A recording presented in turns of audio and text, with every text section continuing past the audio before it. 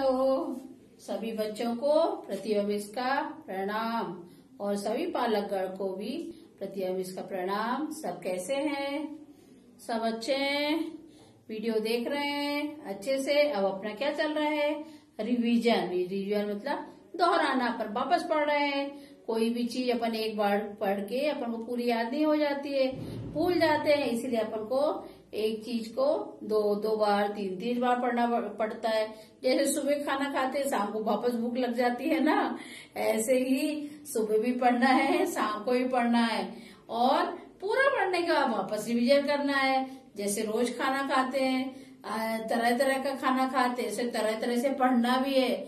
ज़रूरी नहीं एक एक पैटर्न से पढ़ते जाए अलग अलग करके पढ़ना है। आज हम अमृता स्वर ज्ञान का पेज नंबर टेन पढ़ेंगे।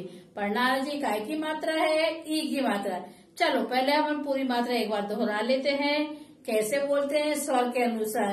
अ आ ई ओ, ऊ रे ए आई ओ औ आम आहा आहा खाली ज़ोर से बजा दो ताली वेरी गुड देखिए अब अपन को कैसे बोलना है? ध्यान दे जैसे अ, धीरे बोला, आ ई ई छोटी ई का अपन ई जल्दी बोल देते हैं, बड़ी ई की देर तक बोलते हैं। अब देखो, छोटी ई की मात्रा इस तरफ़ से लगती है लेफ़्ट हैंड से, और आगे से बड़ी ई की मात्रा।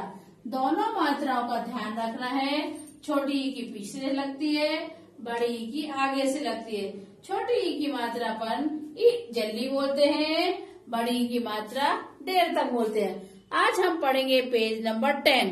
पहले ऊपर देखो, अब प्लस वाले हैं, द प्लस, छोटी की मात्रा, प्लस या या में आ की मात्रा। आ का अपन उच्चारण कर चुके हैं। आ की मात्रा पढ़ चुके, इसे में डायरेक्ट लिख दी, या में आ की मात्रा या।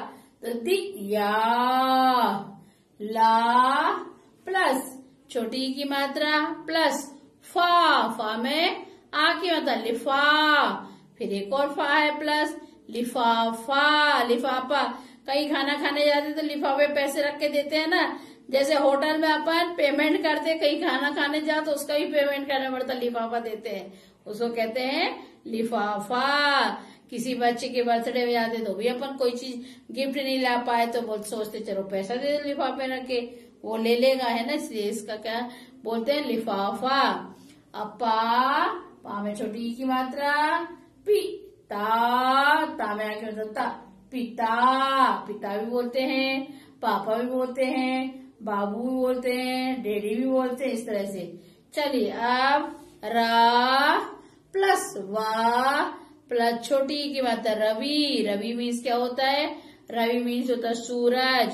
सूरज भी बोलते हैं, सूर्य बोलते हैं, आदित्य बोलते हैं, भास्कर भी बोलते कई नाम है सूर्य भगवान के, सहस्त्र नाम है। तो क्या हो गया रवि? इस तरह से हमने अभी चित्र वाले पढ़ लिए। अब हम पढ़ेंगे, पढ़िए, जिसमें पेज नंबर टेन देखो बुक में दिया है, हमने बोर्ड पे भी लिखा है। आप हम बोर्ड पे हम पे उंगली रख के पढ़ाएँगे। आप बुक में उंगली रखना हम स्टिक रखेंगे। आप उंगली रखते जाना, मिस कहाँ पढ़ा रही है, आपको पढ़ना आ जाएगा। चलिए, स्टार्ट करेंगे अमृता स्वर ज्ञान का पेज नंबर टेन। आप दा दा में छोटी की मात्रा दी, ला छोटा ला, दिल क्या हो गया? दिल।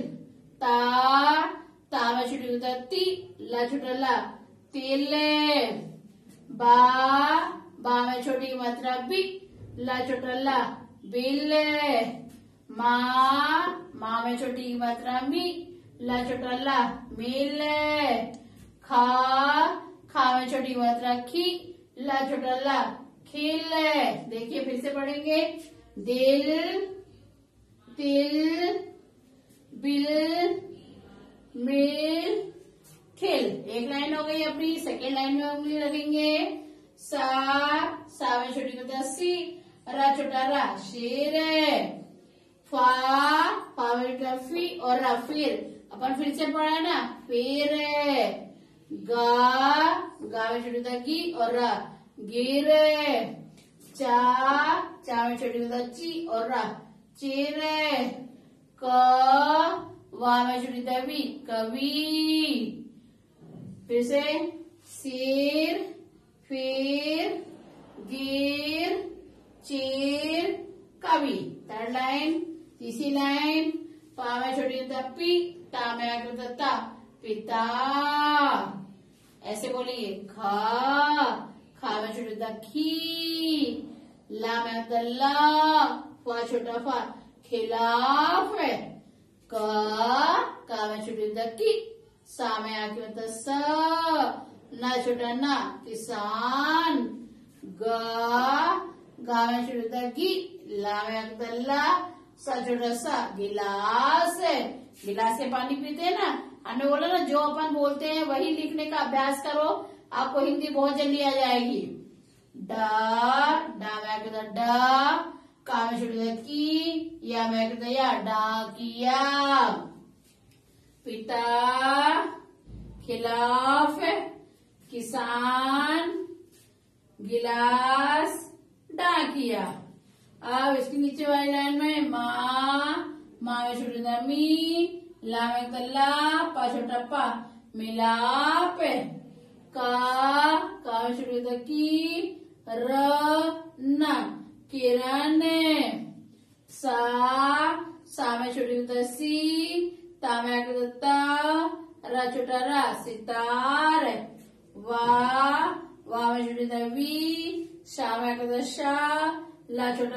विशाल धा छोटा धा ना छोटी होता नी या में आगे या धनिया सब्ज़ी में धनिया डालते हैं ना तो धनिया लिखना भी सीखना इसी तरह फिर मिलाप किरण सितार विशाल धनिया। और लास्ट लाइन गा गा में छोटे ता गी टा में आगे ता टा, रा छोटा रा, गिटार। रा, वा में छोटा वी वा में ता वा और रा, रविवार।